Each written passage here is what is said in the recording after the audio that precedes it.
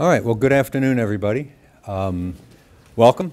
Appreciate everyone being here for the uh, first of two special lectures on Ebola. Uh, for those of you that are watching recorded, uh, this is November, 11, uh, November 17th, so I may say some statistics that'll be out of date by the time you see the recording. Um, as most of us know, Ebola was in the news a lot and then has tended to drift out of the news, but it remains a really important international public health challenge. The CDC reports today over 14,000 cases in West Africa, over 5,000 deaths. Uh, there have been 10 people with Ebola hemorrhagic fever treated in the United States, and as of this morning, the second death has occurred in the U.S. of a doctor who was treating patients in West Africa and just came back to the States.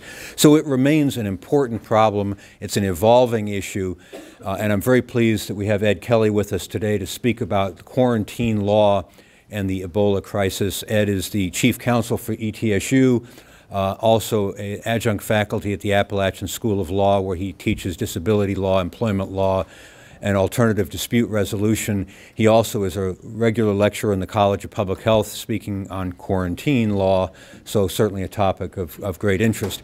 Ed is a senior Fulbright uh, scholar, having served in Ukraine, uh, Belarus, Azerbaijan, Kyrgyzstan, Kazakhstan, and Tajikistan, and then upcoming in the spring we'll be going to Lithuania. Uh, Ed got his law degree at SUNY Buffalo as his undergraduate and was a former assistant state attorney general for New York. We're very fortunate to have Ed Kelly speak to us today about quarantine law and the Ebola crisis. Ed, welcome.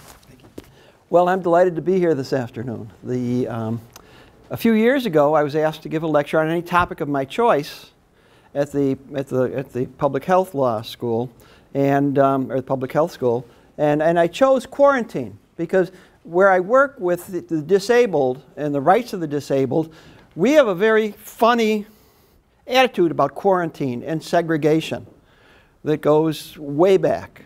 And, uh, and a perception of quarantine or a perception of isolation that kind of goes against disability law. And once this came up, the Ebola crisis, quarantine came back into the news, and it was a major concern for us. And, um, and what I'm going to say today is we're on the cusp of dealing with a 21st century disease with a 14th century toolbox. You're going to see that the quarantine um, has been around for quite some time. And what we're looking at, and we saw a lot of panic when, um, when Ebola first came to the United States. How many of us read The Hot Zone? which was published in 1994, telling us all about Ebola, all about, pretty much about what was going on with it, but we didn't do much about that, did we? And we had two or three outbreaks of Ebola before it came here. I guess we assumed that somehow it was not going to come here because it's so hard to get to the United States in this day and age with transportation. But much to our shock, that it, it did come. And we have a concern about that. Let's start with Albert Camus, the existentialist writer, not a health person, but he wrote uh, a, a, novel, uh, a French novel called The Plague. And this is a quote from his novel. Everybody knows that pestilences have a way of recurring in the world. Yet somehow, we find it hard to believe in ones that crash down on our heads from a blue sky. There have been as many plagues as wars in history. Yet always plagues and wars take people equally by surprise. We think of the enemies and the horror that war is, don't we? We think it's just a terrible thing, war. Um, we had a flu epidemic in 1918. We also had World War I in 1918. And my grandfather, Thomas Kelly, he died on Christmas Eve, 1918, of the flu during the flu epidemic, as did a great number of people. And World War I claimed an estimated 16 million lives. The influenza epidemic that swept the world in 1918 killed an estimated 50 million people. One fifth of the world's population was attacked by this deadly virus. Within months, it had killed more people than any other illness in recorded history. This was an airborne influenza, pretty much like the influenzas we, we get vaccinated against, we, get, we deal with now, and we have other influenzas that come upon us and, and, and, and get to us. But while we might put all our effort in defense from a war, do we put the same effort into public health? This is the Ebola virus. We've all seen this in the paper. We know where, where it is. It's the, that 21st century, uh, 21st century disease that we're going to be dealing with, in part with quarantine. Public health law. What's the purpose of public health law?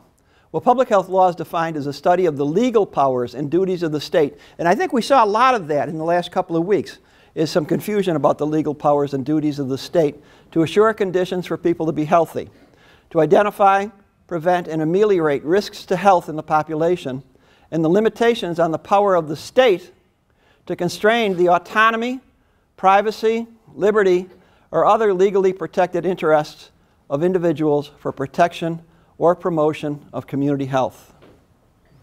And what are the themes of government health law? And as I'm reading these, think a little bit about what we saw in the last few weeks.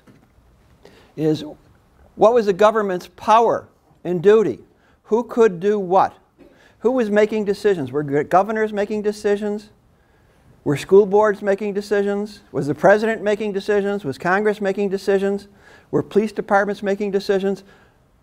Coercion and the limits of state power. There's a line in, in one of my favorite lines in Shakespeare is in Henry IV, where Glendower says to the king, he says, I can call the spirits from the vasty deep. And the king turns to him and says, So can I, so can any man. But when you call them, will they come?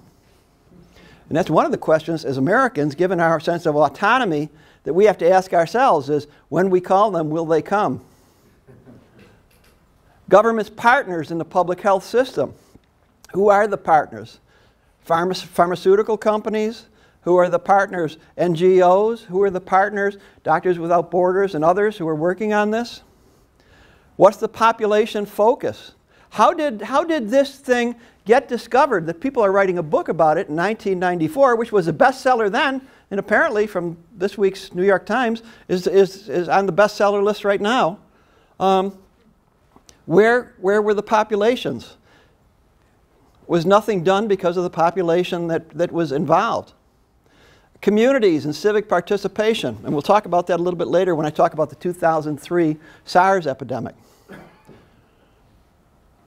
The theory of prevention, orientation, and also, we'll talk a little bit about American use of quarantine, the concept of social justice.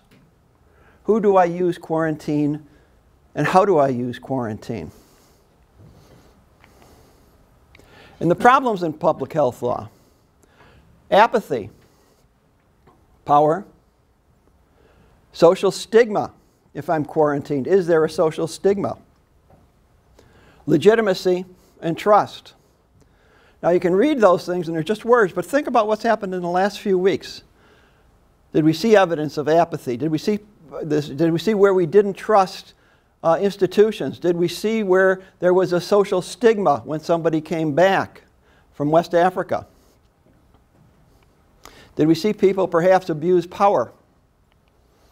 So the topics of the day are this history of quarantine and isolation, the role of public health law, our experience with pandemics, quarantine, and isolation, and some of the lessons learned or things we have to look to in the future.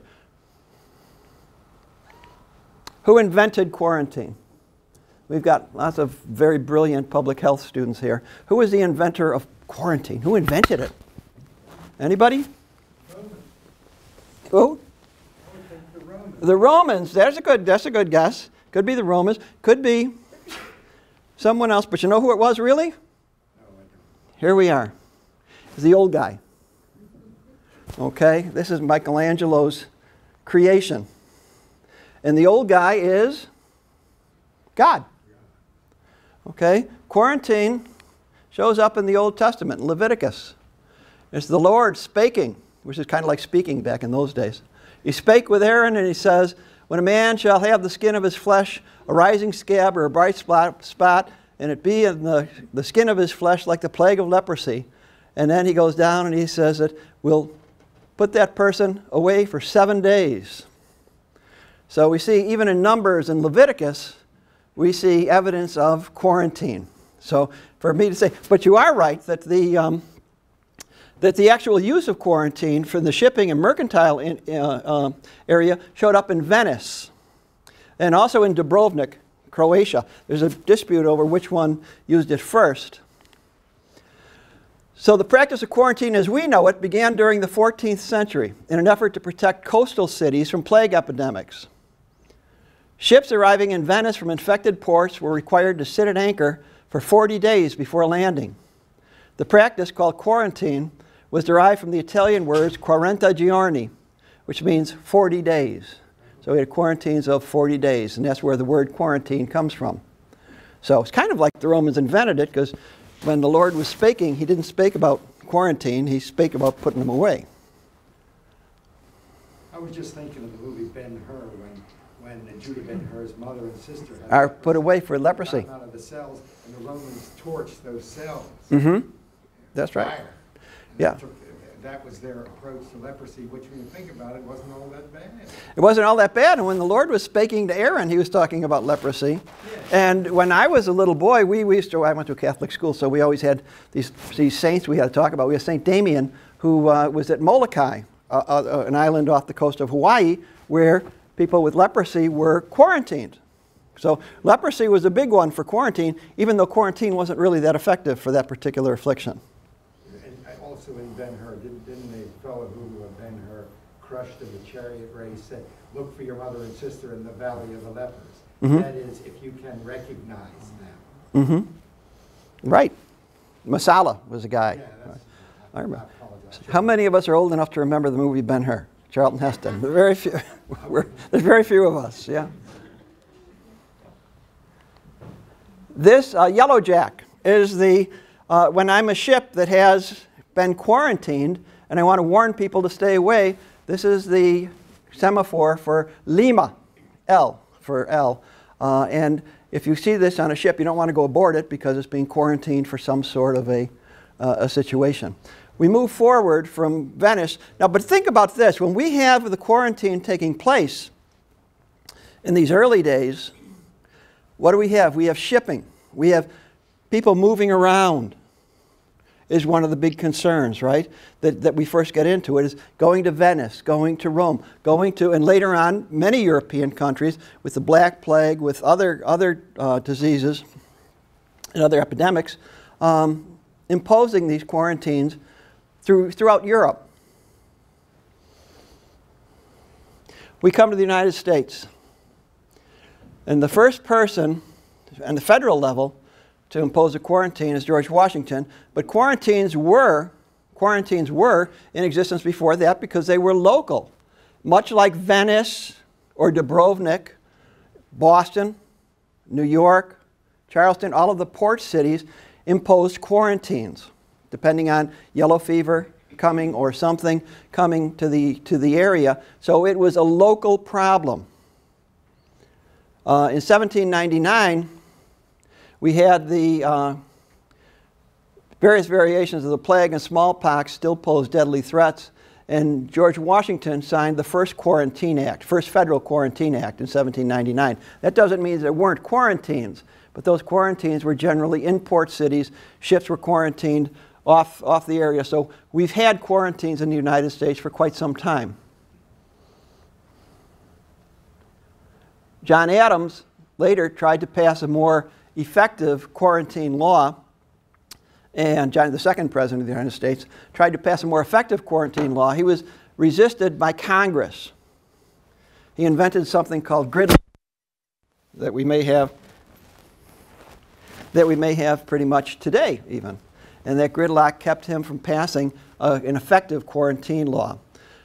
On the other side of the street, as sometimes happens in a government of three branches, we have John Marshall, the first justice of the United States Supreme Court, in a case called Gibbons versus Ogden, says and defines the Interstate Commerce Clause, clause and says, well, there are certain things that are so obvious, we all know the federal government can regulate.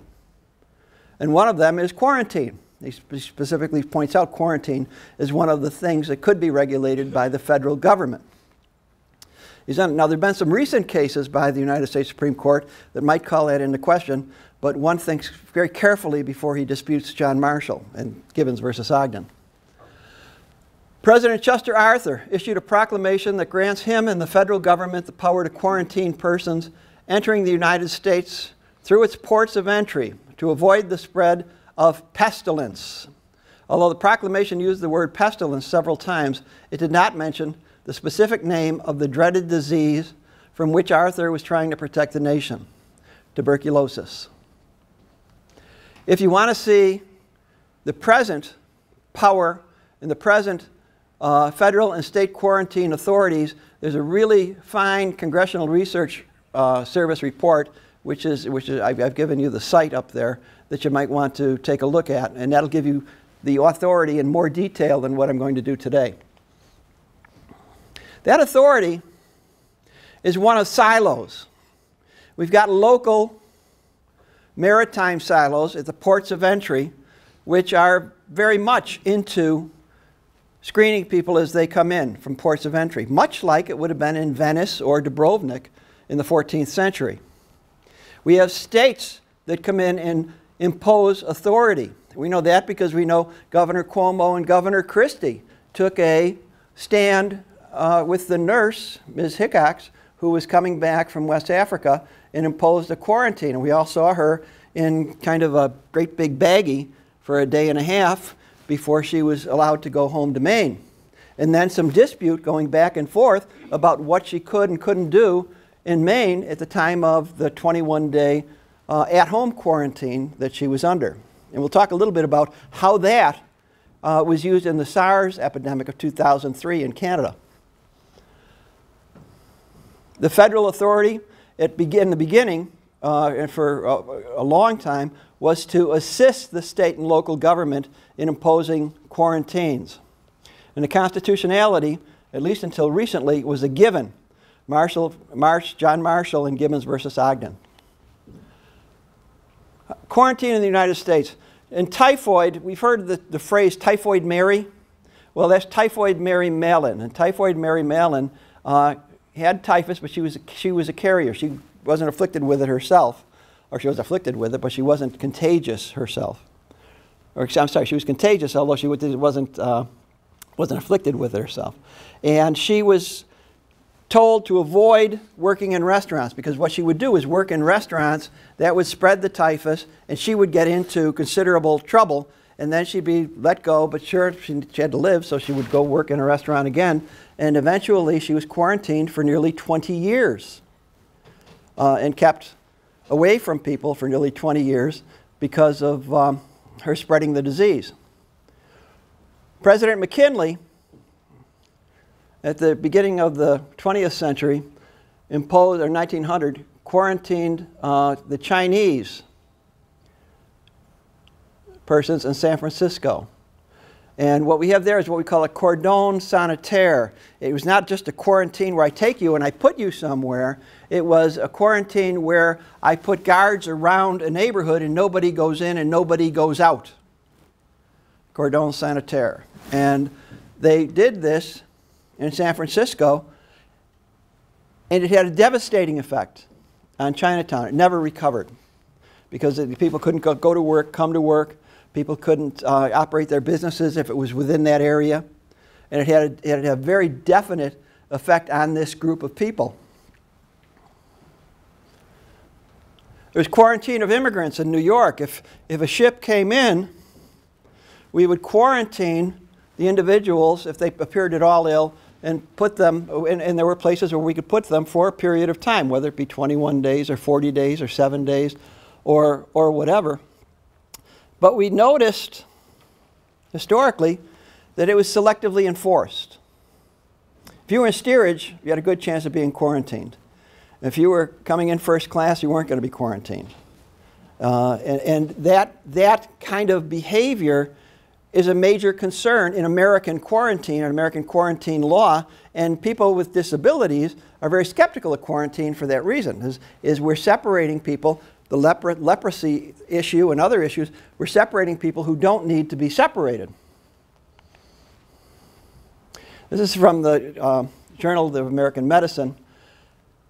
finding that isolation strategies have often dealt differently with persons of different social and economic status, and the burdens of infection control policies have fallen more heavily on those least able to bear them the poor, immigrants, and marginalized ethnic groups. In World War I, for instance, we had a quarantine imposed on prostitutes to, provoke, to prevent the spread of sexually transmitted diseases. And prostitutes were rounded up. And these kinds of roundups uh, lend themselves to abuse. And this, this, that one perhaps as, as an abuse is a concern. So that quarantine carries with it the stigma. Remember, we talked about the problems with public health. One of them being stigma is that a quarantine can carry a stigma. If I come back from West Africa and I put in quarantine, I might be perceived as a person who is, as the Lord spake, unclean. Problem one with a quarantine or a situation where something comes along. Ebola, we're lucky actually, because Ebola comes along and it isn't transmitted through the air, it isn't transmitted like a flu. Uh, it kind of lends itself to quarantine because we, we want to avoid people having contact with each other. Uh, the flu epidemic or the SARS epidemic in 2003 um, are different because it spreads very quickly and you don't have a lot of time to second guess. As a matter of fact, sometimes you don't even have time to guess, it's there. And who's in charge? International. Are, there, are there international authorities in charge? Was someone in charge in 1994 when we were reading the hot zone? Was somebody in charge during various outbreaks between 1994 and the present time, and the last, uh, last one? Were the international responsibilities, including us, responsible in dealing with the situation uh, at that time? National, who's in charge? We, see, we saw that in the last few weeks. Who was in charge? We had governors making decisions. We had all sorts of people making decisions. Here's a, a recent, just, just posted, Americans with Disabilities Act lawsuit. This is a, the Milford Health Director, Dennis McBride, told the family, although the risk of infection with Kialua, who had been to Africa but not to West Africa, might be minor, the primary reason for his decision that she be quarantined at home for 21 days was due to rumors, panic, and climate at Meadowside. This was a decision by the town's public health. This was a decision by the town's public health official, he said in a statement. The state did not play a role in making this determination. The family is not under any quarantine orders. So we have, we have a health director, we have a, uh, we have a governor, we have a public health official, we have all sorts of entities who seem to be in charge. Problem two science or fear. We talked about the reason for quarantine being fear, the reason for quarantine being panic. Well, which directors, which directors are politicians listening to when they make their Ebola quarantine decisions? Is it the CDC or is it uh, the fellow who does Walking Dead?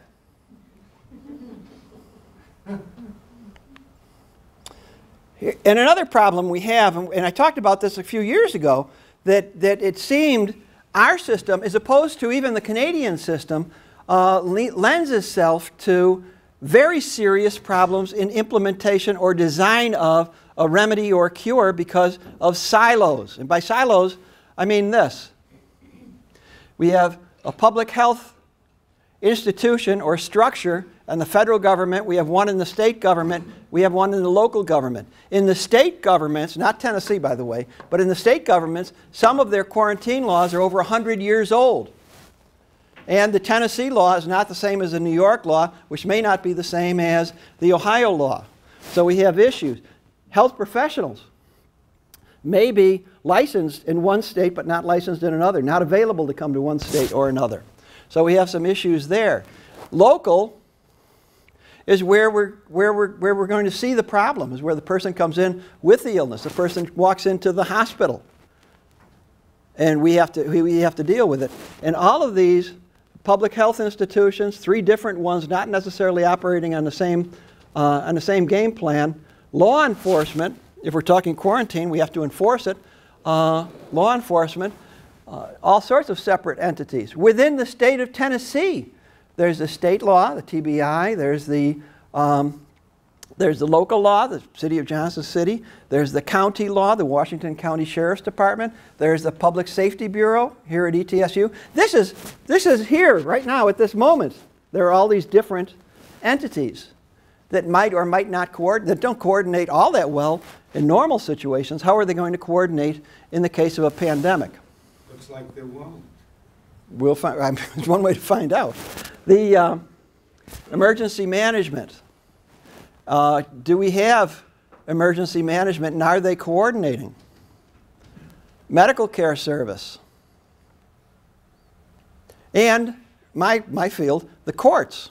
How are the courts going to resolve this? Because if you take me and put me in quarantine, you have a right to I have trouble with this. I have a right to um, have my due process. I have a right not to be taken to prison.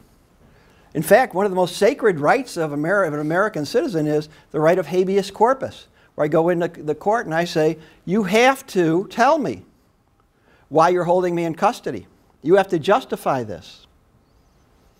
And I would go to court. So, who makes that decision? That the decision of our local uh, our, our local physician that a person has Ebola or maybe may have been trans- may have been uh, uh, of concern on Ebola that the person should be quarantined. That can be immediately reviewed by who? A sessions court judge who handles routine criminal matters all the time.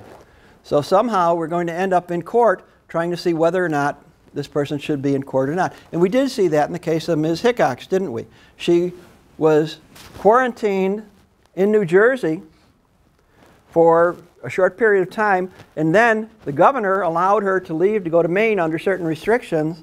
When she didn't follow those restrictions, the matter was taken before a Maine judge who made a ruling on the case. So we have a lot of people reviewing and making decisions in a very deliberate fashion uh, involving this, and not very much coordination. The current situation. In general, individual states are responsible for intrastate, within the state, public health controls measuring using their laws, intrastate. Significant variation among state laws, Now, and not just variation among state laws, is there some of, some of the state laws involving quarantine are over 100 years old. There is a model act uh, that, that some states consider, that some states have adopted, that some states have to, um, to deal with emergency situations, but there's no uniformity. A significant, uh, some local jurisdictions may have public health control provisions that are easier to use than the state, but the state may come down and impose, impose their rules as well. And the state local public health officers have experience, have experience with individual controlled me- measures such as tuberculosis, school immunizations, mental commitments. When we talk about legal authority for quarantine, the case everyone refers to is Jacobson. And in Jacobson, um, the uh, Massachusetts court held that the uh, vaccination, that a person could be convicted of a crime for refusing to be vaccinated. And the court said the state has the right to require a person to be vaccinated. Okay. The current situation in federal law is the federal government has concurrent power to apprehend, detain, or con- conditionally release individuals to prevent the interstate spread of international import or international importation of certain diseases. Those are diseases identified by the president in an executive order. And Ebola happens to be one of them. It's just it, has been added. Hemorrhagic fever is um, is included in that executive order. Seems like a timely thing with everyone talking about executive orders today. Um, such federal, federally quarantinable diseases must first be listed in an executive order signed by the president. Now, notice the court says if it's intrastate, it's the state. If it's interstate commerce, it's the federal government. Problem coming out of that interstate, intrastate. In this day and age, where did Miss Hickox go? New Jersey. And then where did she go? Maine. Where did uh, Mr. Thompson, the first person to come across, go? He came into, uh, I think, I did come in Atlanta and then to Texas. So intrastate doesn't really have the clout it did in 1799, does it? In 1799, if I wanted to go from Atlanta to Texas, it was a chore. It was something that was going to take an awful lot of my time and effort. Now, interstate, hell, heck, inter, inter-countries is, uh, is something that happens all the time. This isn't a ship coming into Venice that's been out to sea for months. This is an airplane on the same day that it left West Africa, bringing somebody in.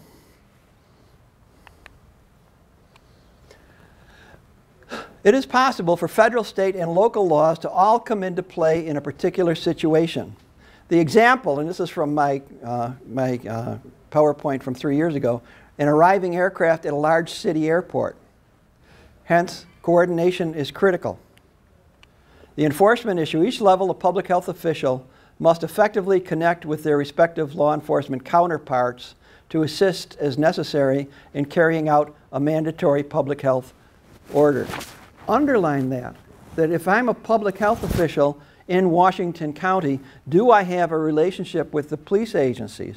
Do I have a relationship with the courts? Have we had the chance to talk about what we would do in, in this particular kind of situation? And that was one of the lessons that really came out of the SARS epidemic in Toronto, was the need to be able to pull these things together. It's not the, it's not the kind of thing lawyers have where I'll get you, I'll get you your answering papers in two weeks right? We've got, we've got a health emergency and we have to respond quickly. In 2003, we had SARS in Toronto. Now, SARS is a flu like epidemic, very contagious, much more so than Ebola. And uh, it, it started in China. China has control. China has a government that is in control. They applied cordon sanitaire to certain areas and said you can't come in, you can't come out of these areas. People were required to, um, to be quarantined, and there were very significant sanctions that took place. So we're not China. We don't have that kind of control over people. And quite frankly, if, if you read the New York Times last week, Abraham Verghese, who had worked here, pointed out one of the problems uh, with imposing quarantine or imposing that in our country is we don't tend to do what the government tells us. Right? We're, I mean, that's, we started out not getting along with the British, and, and, and, and from time to time we've had civil wars and everything else, that, that we're not the kind of people who love um, to, be, to do what we're told. Um, but Canada was different. Canada is um, very much like us. And the Canadian experience gives us some hope. Over 13,000 people were quarantined in Toronto during this epidemic.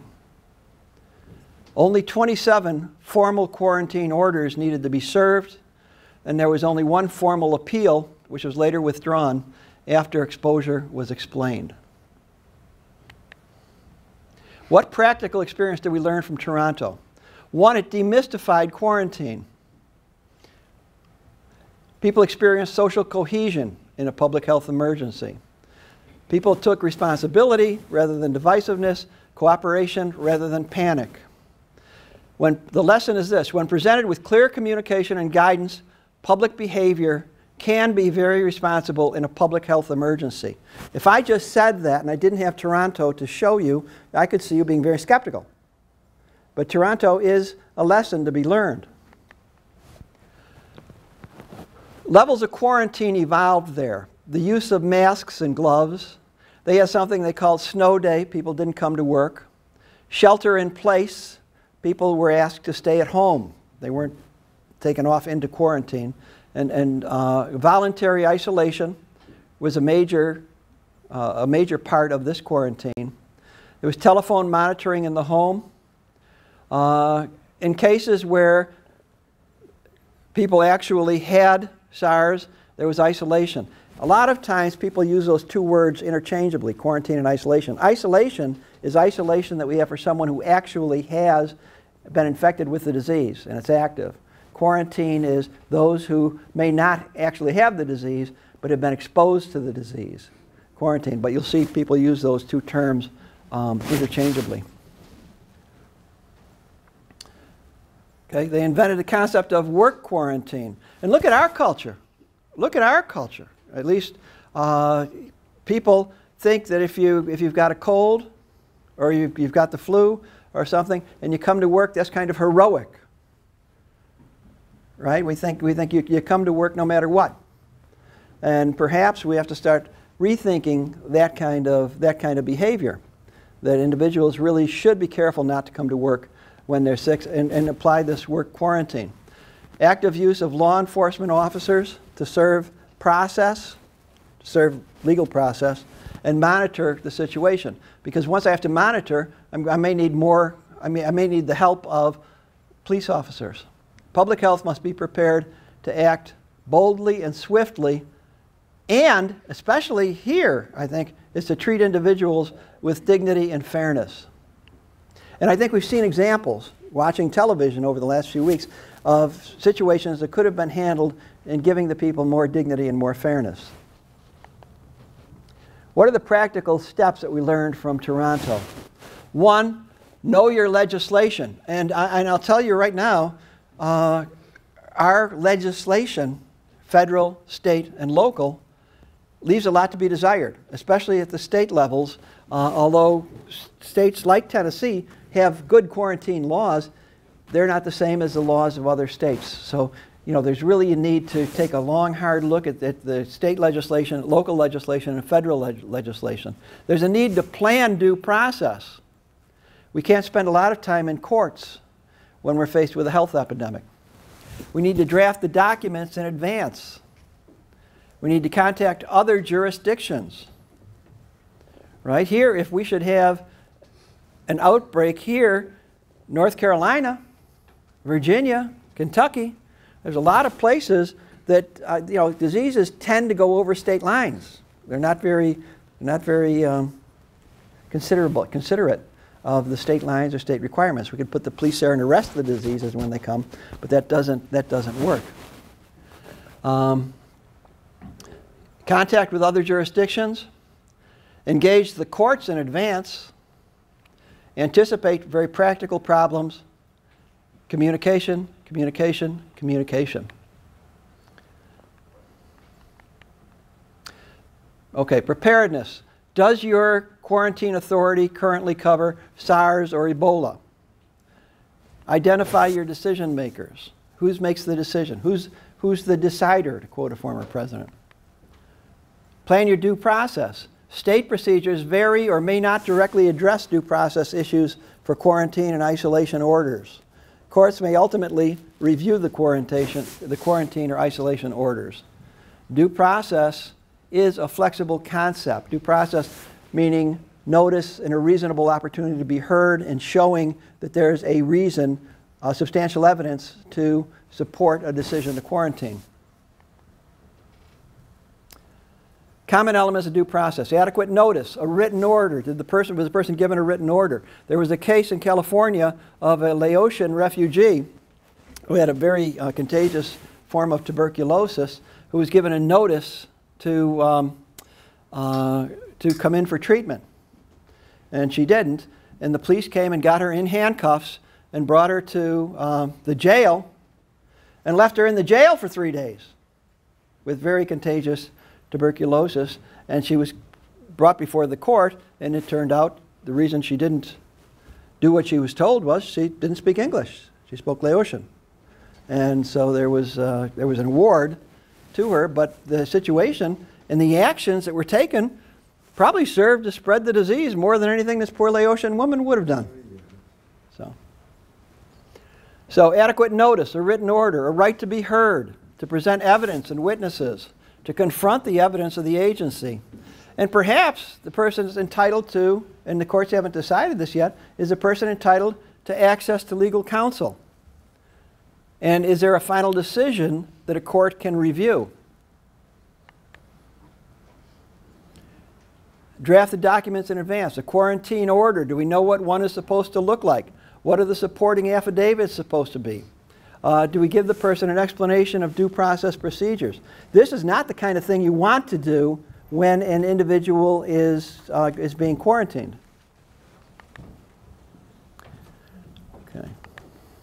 Final thought is this the ability to respond timely. In American culture, we are individualistic, we're legalistic, we're wary of government.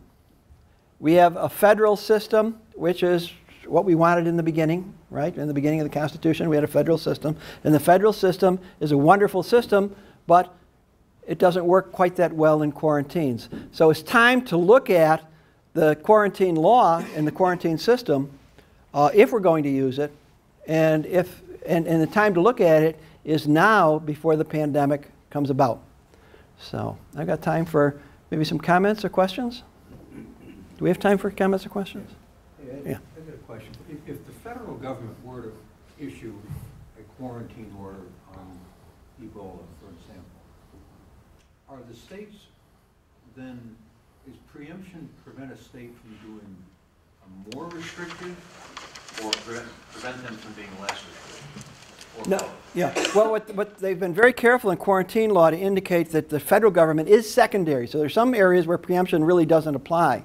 So the federal government is advising and doing the things that it does, but it doesn't preempt the state law because the state law is a primary by statute, not constitutionally. For everything else, the federal government, not everything else, but most everything else, preemption applies. That's the right of the federal government to trump the state government when it comes to making legal decisions. And there are exceptions to that.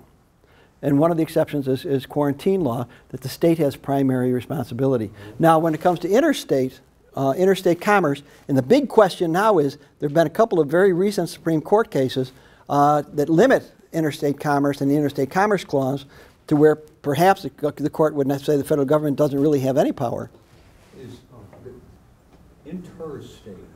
Mhm. If someone travels from another country, haven't they au- automatically committed interstate commerce? and ports of entry. And the federal government has primary authority at the ports of entry. So it's, it's and, and in given the ability to people to travel, it's almost irrelevant. And the problem there is who does make the decision? And you know, the, and the time to make that decision is now, not, not when, uh, when the wolf's at the door. Robert? So, in your example um, of the uh, local control, Mm-hmm. How is that decided? I mean, what, what happens there? I mean, I know it's, I know it's a pretty big mess, but give an example where, where there's a medical authority, sort of mm-hmm. a public, a local public health doc, or, and, and a few others. I mean, what, what happens in, in that situation? Well, the CDC had a program called Top Hat after the SARS epidemic, where they took a long, hard look at, at, at what some jurisdictions could do. And they actually did work communication, working with the courts, with the police, with the public health officials, to, one, to decide who does, but also to make sure everybody knew who makes that decision. The public health officer generally makes the decision, but the court can overturn that decision.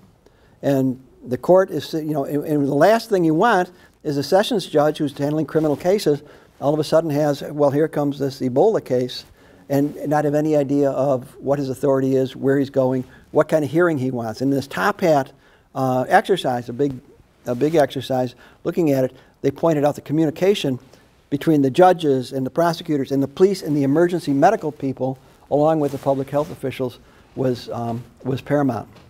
So, as a practical matter, when it occurs, chances are the most, um, in an ideal situation, there's going to be the public health official who calls the shot because they'll be on the scene calling the shot. so Um, which public health official? Depends on what the state says. Okay, so. So it's a different person in each state, and it's also, there's a county public health official, there's a state public health official. Right. So even within the state, you have lots of potential for issues of who's calling the shots. Actually, have a county, a regional, and a state, Mhm. and within each one, a medical director, Right. right? So you've got six different people. Right, I guess at the regional level, a medical director, and then at the state, a medical director. Mhm. So, So Ed, five. in a practical sense, with Hickox, the nurse from West Africa, did the state of New Jersey have a legal right to quarantine her? Well, not knowing the state laws, yes, they have the right to quarantine her. So and until the court says you don't. So what they would say is they would go in and make whatever argument they made before the court. The court would say, you haven't proven to us that she has a significant risk of um, spelling it. Larry Gostin, who uh, is a public health lawyer at Georgetown University, has an article in this week's New York Times where he takes her to task to say, you know, she did have some responsibility here. And, um, you know, not to, the, not to the New Jersey kind of quarantine, but the kind of quarantine that she uh, allegedly had agreed to. That- and, and yeah, the whole monitoring. But you know, the governor can can make his decision, and the courts are going to be reluctant to overturn the governor's decision.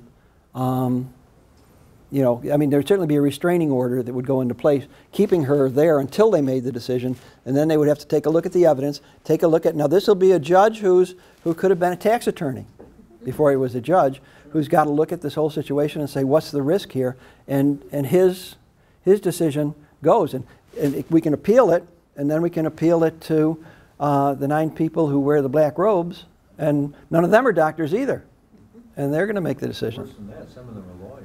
Some of them are lawyers. Some of them are lawyers. Yep.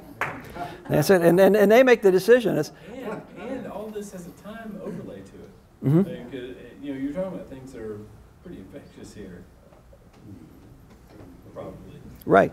And, and a potential for abuse. We have that, that director telling the child that she can't go to school even because she was on the same continent as um, the thing, and, and, and coming out clear saying, "A- and the reason you can't do this is because of panic, is because people don't like people like you, who uh, you know who may have uh, been exposed to this disease. So it's a it's a it's a major concern, and um, you know in a way we're lucky to have the Ebola situation come to give us an idea of uh, a very good idea of what kind of potential there is for problems in quarantine. If it should occur again, or if, uh, if God forbid, SARS or some other uh, respiratory kind of virus should appear, uh, it would be quick. Um, I wasn't aware, even though my grandfather passed away during it, I, wasn't, I was not aware that, that, that the 50 million, the 50 million is conservative because it was a worldwide pandemic and it could have been up to 100 million people. So World War I was nothing compared to the flu epidemic. And, you know, and, and, and it moves quickly. The, the, um, you know, the ability to, to react is, is one, you know, Ebola gives you the 21 days or whatever it gives you. The flu really doesn't. Could you comment on the lo, our local quarantine laws? Are we protected enough in Tennessee and Johnson City? I've read the state of Tennessee statute and the implementing regulations, and, um, and they're modern. They follow, they aren't, aren't exactly the Model Emergency Health Act, the, the one that, that, that's- that, that's pushed, but they come pretty close to following the Model Emergency Health Act. Now, the criticism of the Model Emergency Health Act was it takes away civil liberties, it's, um, you know, it's jackboots and putting people away. Um, I think people are going to look at it a little differently now as, as what kind of powers are in. And I think we'll see significant changes. Not so much in Tennessee. Tennessee's law is pretty, pretty close to the Model Health Emergency Act. In fact, I think the next speaker is going to specifically talk about that in the local uh, aspects. Anything else? Yes? Was the Tennessee law recently amended in the last ten years? When I uh, first arrived twelve years ago, I looked it up and it explicitly mentioned uh, several diseases. And I was uh, dumbfounded that anyone would think about quarantining people with yellow fever since it's mosquito-borne. Mm-hmm. But that was there in the state statute. Has that been fixed? Uh, I know it's not, that's definitely not in the statute. I don't know if it's in the, I don't know if it's in the regulations or not. Most quarantines, uh, you know, especially at the time of the revolution, many of the quarantines involved yellow fever, and, and yellow fever and, um, and plague, and uh, tuberculosis was another big one for quarantines as well. It's not an executive order either, I don't think. Well, the mode of transmission was figured out in the early twentieth century, so I'm figuring it was Mhm. uh, a holdover from uh, the nineteenth century to have it in the statute. You know, some of the worst civil rights tragedies that we've had in, in this country have involved um, using quarantine in a political sense. In Korematsu versus the United States, the Supreme Court authorized the quarantining of Japanese Americans through the entirety of World War II. So we had, um, you know, we had the quarantine used as a, as a political uh, element. And there are those who will say the quarantine tends to be used, at least has been in the past, used politically. The, the quarantining of prostitutes, the quarantining of Chinese immigrants, the, the, uh, that, that there's, a, there's a whole legacy of quarantine that, that actually could have been misused, or people will argue was, was misused. Anything else? If not, well, thank you very much.